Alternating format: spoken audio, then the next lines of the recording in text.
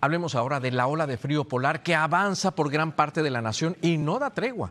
Autoridades advierten que es mejor quedarse en casa y si hay que viajar, hacerlo con precaución. Más de 140 millones de personas están hoy bajo alertas u otro tipo de avisos sobre sensaciones térmicas muy, pero muy frías. Casi el 80% del país experimentó temperaturas bajo cero durante la noche y como resultado la mayoría de las escuelas del país amanecieron cerradas.